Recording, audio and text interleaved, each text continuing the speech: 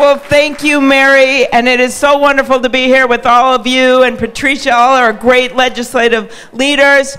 Are you ready to elect Hillary Clinton as our next president? Are you ready to hear from Chelsea? You guys have been waiting for a while. Now, here's the cool thing. I was just talking to Chelsea. She is in the house, okay? I just came from the vice presidential debate. I was there in the room when Mike Pence referenced, what did he say? That Mexican thing. Do you remember that?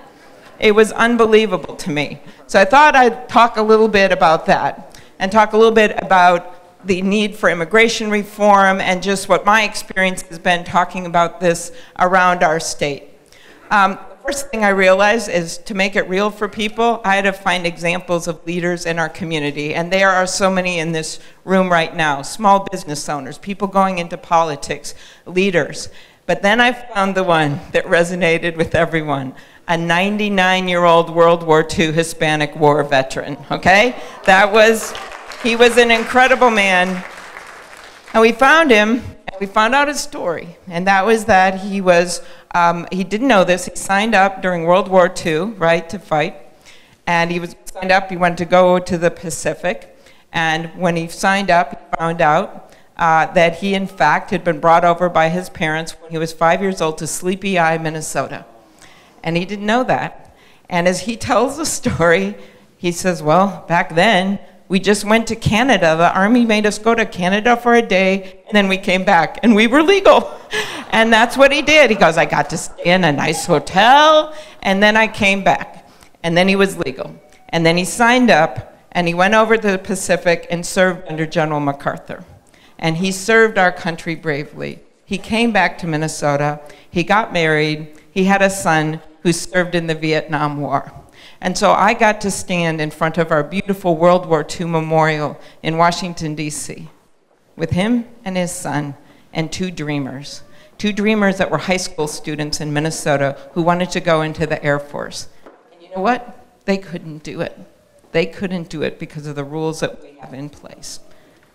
And I would like Donald Trump to tell that man that he should go back to where he came from. Right? Is he going to tell that to a 99 year old World War II veteran? But that is what his policies would do. Because he has talked about uprooting people that were actually brought to this country, people who were born in this country. That is what his policies are all about. So, what do we have on the other side? We have Hillary Clinton, who has spent her life fighting for the people of this country. Hillary Clinton, who has made comprehensive immigration reform one of her top priorities. And this, my friends, is not just a Democratic priority, it is a Republican priority for some of my more moderate friends in the Republican Party, and it is an independent priority. Why is that? Let's look at our businesses in Minnesota. 70, when you look at Fortune 500 companies, right? 70 of them were formed by, are headed up by immigrants. 70 of our Fortune 500 companies. A couple years back, I looked, 200 of them were formed by immigrants or kids of immigrants. And 25% of our US Nobel laureates were born in other countries. This is a country of immigrants, and we all rest on their shoulders. This is a country of immigrants. In my own case, I was doing some research for a book I wrote. I found out that my Slovenian immigrants came over here legally, my, my great grandparents, to the Iron Range where they worked. On my mom's side, the Swiss grandma and grandpa, they came over, and my grandpa went through Ellis Island. And they had a limit on Swiss immigrants. I know this sounds rather amusing. Uh, and he was turned away. And then he said, Well, you know what? I have to, I'm going to go through Canada. I'm going to live in Canada well, he stayed in Canada for five days. He somehow got through, went into Wisconsin, and was an illegal, was a legal, legal alien for 20 years, and never applied for his citizenship because he was afraid they would notice he came to or through our country twice. And he applied for citizenship about a year before the World War II came. He was a Swiss German, right? And he was afraid he was going to be deported. But back then, he told his story. He had to have a hearing because of what he did but he got his citizenship three weeks before America joined the war. And I have that picture of him smiling with that bow tie, married with my mom and my uncle as his kids. That's an immigrant story, and I stand on the shoulder of immigrants. So this is the story of all of you. Now, we have so much work to do. I hope you know this, right? In the next, what is it, 35 days? 30, 34, but who's counting? 34 days. And we have to get out and do everything we possibly can to not just elect Hillary Clinton, to elect our great congressional uh, members that are running for election, and also our legislative candidates, many of whom you've seen today. That is our job. We have a job to do as citizens. My favorite part of the Democratic Convention is when Michelle Obama got on that stage and she said, you know what? The president not only important job because they have their finger on the nuclear code, but it is an important job because they're a role model for this nation. She talked about her kids playing in front of the, on the White House, on the lawn with their dog, knowing that that White House had been built by slaves. Knowing that President Obama was a role model in that way, not just for African Americans, but for our entire nation. Donald Trump is not the role model we want for our children. That role model is Hillary Clinton. That role model is Hillary Clinton. And I think we're going to hear a little bit about why she is such a great role model by the incredible woman she actually raised as a child, right? I think that's probably the best source we can get. Now, to introduce Chelsea Clinton today, we have someone else with us, and that is the governor of Minnesota. And my favorite thing about this governor, in addition to what he's done for pre K and what he's done for infrastructure and what he's done for our state, is that a few years back, when they did the numbers for the best state to do business in in CNBC, Minnesota came out number one in the country. And that, how much fun did I have when the number two state below us was Texas. How much fun did I have seeing Ted Cruz in the hallway and saying, sorry, our state's actually better to do business. You may talk about your taxes, but we have an incredibly educated workforce. We are open to refugees and immigrants. We are a state that believes in our people. And that is why we have been consistently rated in that top group of states to do business in. So, with that, I give you the great and wonderful governor of Minnesota, Mark Dayton. Thank you very much. Let's hear it for Senator Klobuchar. Yay! You know, she. Uh, she followed me into the U.S. Senate, so I say she's a big improvement over her predecessor, and I know them both well, so I can speak with authority on that subject. A great senator for all of us in, in Washington. And, you know, I, I left just to come over here. I had a meeting with the uh, Undersecretary of the Foreign Ministry of the country of Mexico. And uh, they uh, was telling me you know, there are 185,000 Mexican Americans in Minnesota today. And many, of, some of you are here, many of you are here I, I apologize to him on behalf of the people of Minnesota for what uh, this presidential candidate Donald Trump has been saying against uh, Mexicans, America, against the country of Mexico, and, and just how, you know, just horrible, really horrible that kind of uh, just bombastic, inflated, and unwarranted rhetoric is. Uh, well, last time Chelsea Clinton was here, she talked about the normalization of hate speech. And that's a term that really has stuck with me. You know, for people uh, running for office, especially the President of the States, talking in such a hateful, disgusting way about other people who live in this country or who are neighbors of this country, to me is just so offensive. And it should be offensive to all Americans. The fact is he's running for president he got nominated by the Republican Party says something else. But it's his chance, this election is a chance for all of us, all of us to stand up and say no. That is not who we are in, in Minnesota. That is not who we are in the United States of America. We're a country.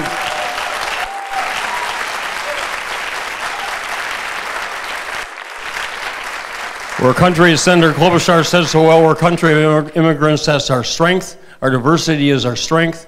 And we're going to build together here in Minnesota and across this country with the great leadership of uh, President Hillary Clinton. And I want you to do everything you can make sure that's a reality on November 8th. Uh, I'm my honor to introduce uh, Chelsea Clinton. She has uh, got a campaign schedule that leaves me exhausted just looking at it. She came from Fargo, North Dakota this morning, so she's been on the campaign trail for several days and will come back again. So I'm very honored and proud to introduce uh, the first lady, the next first daughter of the United States of America, Chelsea Clinton.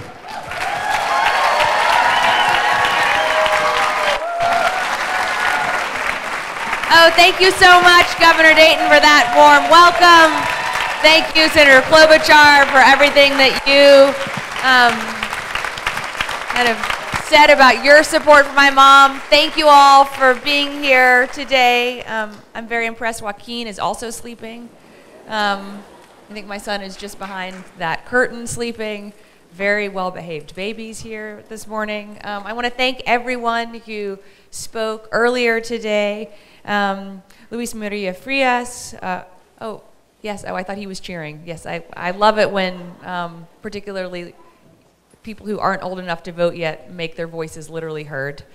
Um, Carlos Mariani, uh, Melisa Franzen, uh, Patricia Torres Ray, Alondra Cano, uh, Mary Hernandez, and everyone who's working so hard here across Minnesota to ensure that we have a strong, positive outcome uh, for my mom's campaign, uh, for our values, and also the partners that she will need at the federal, state, and local level come 2017.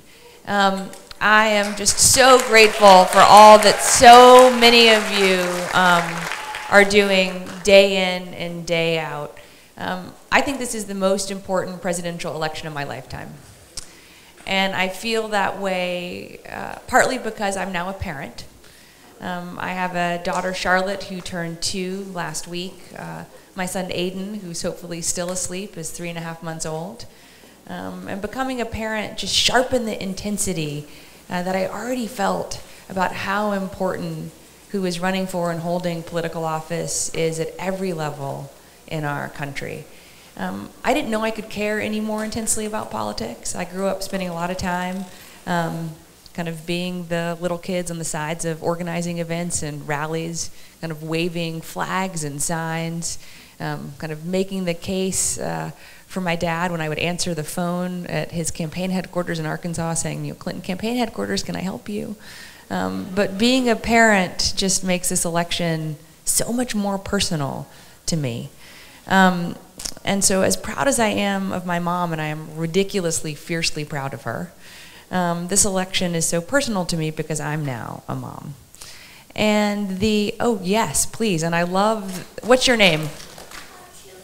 Chili. I love that Chili is here in his Space Center suit, cheering along, um, and making sure that we never forget what this election is ultimately about. Because it is about Chili and Joaquin. It is about my children, our children, our grandchildren. Um, and I was listening to what uh, Governor Dayton was saying about uh, how troubled I now have been, um, and I know so many of us are, um, and have been for months uh, with the almost normalization of hate speech. Um, the demonization of people on the basis of gender, race, immigration status, religion, disability status, the rhetoric against our veterans, the demeaning of a Gold Star family. I just never thought I would see any of this in my lifetime. And when my mother or I or our campaign talk about um, our children listening, this is not rhetorical. I was in Pennsylvania a few weeks ago, and uh, a woman came up after my event had finished, and she said, "Can I share one of the reasons I'm supporting your mom?" And I said, Yes, thank you. Um, please. She said, uh, I immigrated to the United States 12 years ago from Guatemala. Um, I came uh, to be part of a graduate program at Penn State. Uh, I had a six month old son, and I had hoped that coming to this country would enable me to give him a better life. She said, We're now Americans, and I'm so proud to be able to vote for your mom. Should I also know that I need to be standing up for my son because he went back to school less than two weeks ago and he's already had three different kids say to him either go back to Mexico or I can't wait until we build a wall to keep people like you out. He's 12 years old. This is unconscionable in the United States of America. And our values really are at stake because comprehensive immigration reform isn't just about people who are immigrants or who know their parents' immigrant stories. It is about our bedrock American values as a country of immigrants. You know, when we talk about the need to have equal pay for equal work, of course it's about finally ensuring that women are rewarded equally, particularly Latinas. It's also about ensuring that Americans with disabilities are finally rewarded equally for their equal work. Because the only legalized discrimination that still exists in our country is against Americans with disabilities. It is legal to pay Americans with disabilities less than one third of the federal minimum wage. That's also un American. We have to have a president who understands that words matter and who understands how to actually help us move forward together. When my mom talks about Stronger Together, it's not just a slogan. It is what she believes in the marrow of her bones and in the depths of her heart. And that is the person that I have been so blessed to have as my mom. Because she has always been my role model as an advocate and an activist, and also as a working mom. Um, I never doubted I was her first priority. She never had to make trade offs of quality or quantity of time because I'm really blessed. She spent a lot of time with me, and every moment felt like quality time. And so she, in the best sense, set such a high bar for me.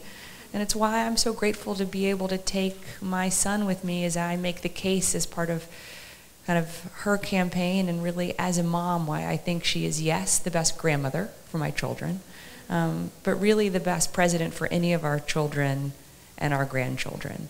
Um, because ultimately, this is about our future. And I just am so thankful um, to be in a state where uh, voting is easier than it is in a lot of other places, where more than 100,000 people have already voted pretty amazing. Um, and yet we know we need to keep making the case to anyone and everyone about why it's important to get registered and why it is important to vote. Because I do believe that everything that we all care most about is at risk in this election.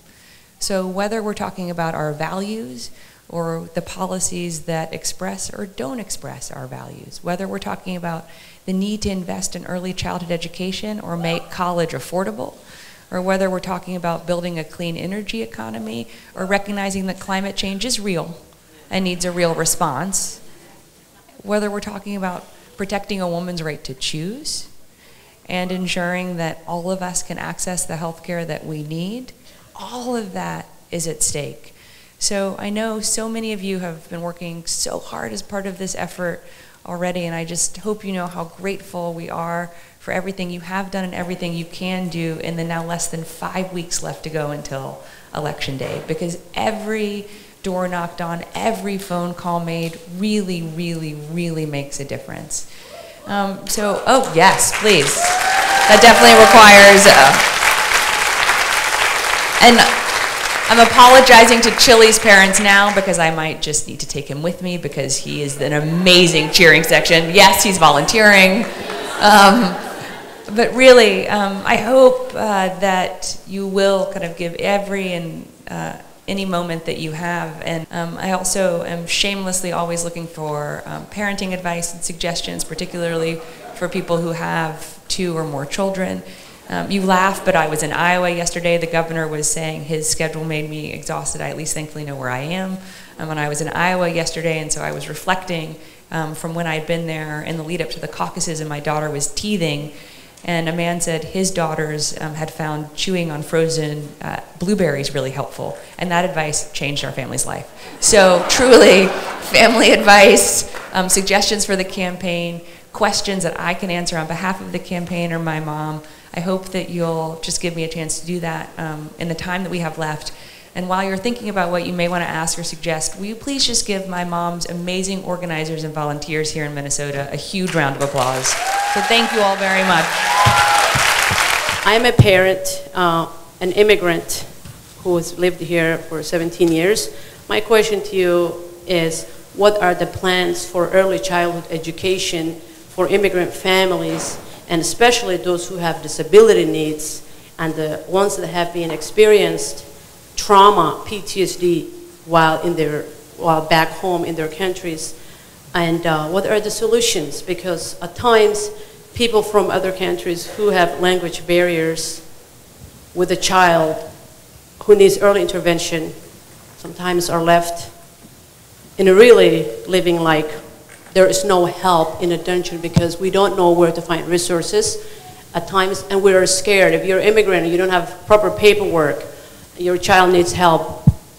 Parents are left uh, living in their living room and that child getting no services, which is very important for anyone here who understands what disability is or a child who has autism, getting an early intervention before the age of five is crucial.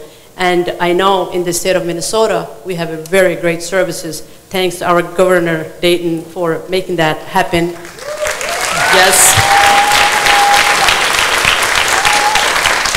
But I want to know what the plans are for other states and all the, all the immigrants living not only in Minnesota, we're very lucky to be here, but what about in Mississippi and Texas? Thank you.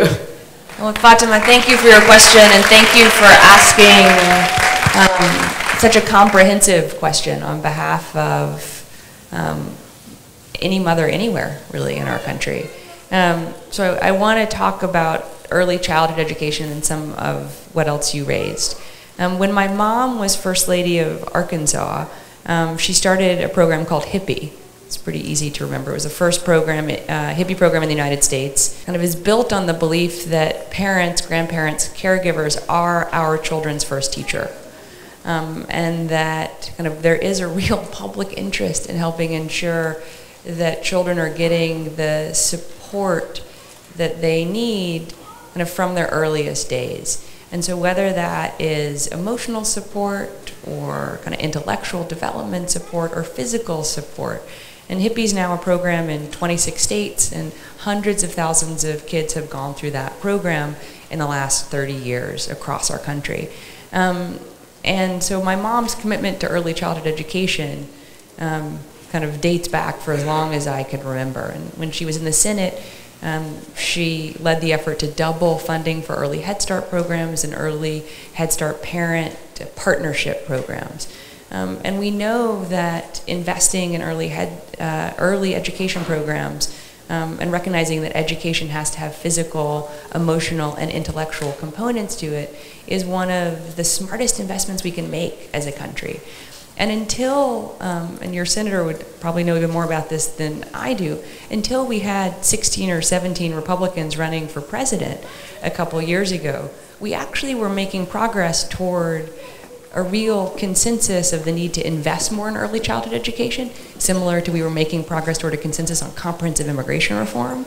And then a lot of Republicans started running for president and kind of moved away from their initial commitments to have a real kind of injection of funding into early education and childhood support programs and into comprehensive immigration reform. So I'm hopeful that after this election, and knock on wood, after my mom wins on November 8th, we can remind Republicans of the things they said about comprehensive immigration reform and the need to invest in early education as a real national priority, and again, one about our values because we shouldn't be politicizing investing in supporting children and families. So I think that's part of it. The second part of it, to your point about kind of you know PTSD and kind of mental health support, I was so disturbed by what Donald Trump said about PTSD and our veterans a few days ago. I mean, I, that was horrifying to me. I mean, I would have thought it should just be a basic bar of running for president to support and respect the men and women who have supported and protected us and respected us with their service on behalf of our country. And my mom said a couple of days ago when we were together in Philadelphia something that stuck with me, where she said she was just tired of kind of people treating physical health as only existing from the neck down and mental health as existing from the neck up because we need to be talking about health, kind of an individual's health, a family's health, a community's health, and what we need to do to support that.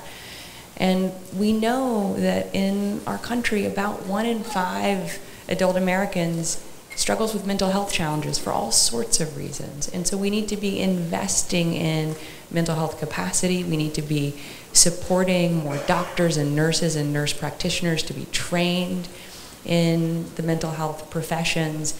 And the government should be incentivizing that to happen um, and also supporting that to happen you know, in states that don't have the same Medicaid programs that you have here, for example. So we do have a lot of work to do.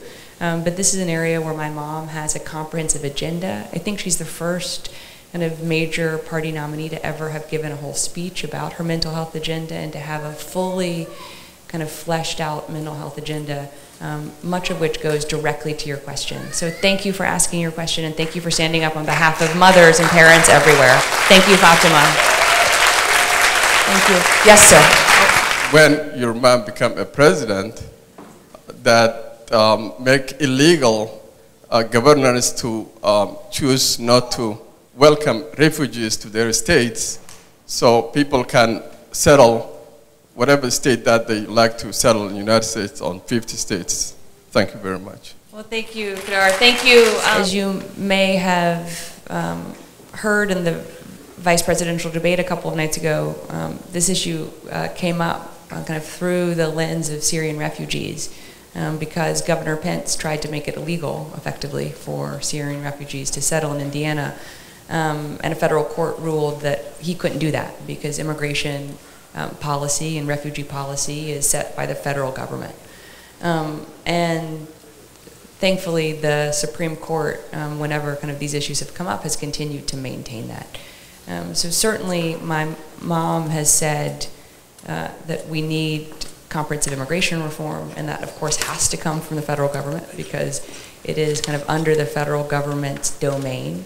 Um, she has strongly supported President Obama's uh, DACA and DAPA actions um, and are, is hopeful that that can provide a path forward um, when she is elected, knock on wood. Um, I'm not too superstitious, but I just feel like knocking, saying knocking on wood or knocking on my head or knocking on actual wood is, it's not going to hurt. Um, and, and so I hope that um, kind of the, the just huge difference between my mom's um, comprehensive immigration reform plans that I think uh, go to our values as a country, um, keeping families together, protecting the rights of children. This the just massive difference between that and uh, Donald Trump's lack of a plan and rhetoric against immigrants um, and even against the children of immigrants, I hope kind of gives you a real um, strong sense of, of who she is and who she would be as president. Um, because I do think that kind of what someone has fought for and stood for their whole lives says a lot about them. So it matters to me that my mom has been fighting for women and children and women's rights and children's rights and expanding opportunities for children and young people for literally longer than I've been alive. And that her work kind of in partnership with and on behalf of the Latino community started before I was born when she was registering people to vote in the Rio Grande Valley in Texas. So I hope that what people have done or haven't done and what people are fighting for and who they're fighting for or who they're not fighting for in this election um, is as clear to all of you as it is to me. And I also recognize and own I'm deeply biased towards my mom. I hope that my children, um, and I hope my son is still sleeping like your son, are, are someday as biased towards me as I am toward them. Um, and I hope that after just spending a little time together today, you understand why I'm so proud to be able to campaign on behalf of her um, on the substance of what she's fighting for and on her long record of who she's fought for and what she's fought for. Um, so just thank you all again so much for being here. Thank you for supporting my mom's campaign in whatever ways you can over the next, I think, 33 days. Um, and I just am so grateful to your governor and senator for being with us here today. Um, and once again, please just thank my mom's, um, I think more than 100 organizers who are working so hard here every day in Minnesota. So thank you, thank you, thank you very much.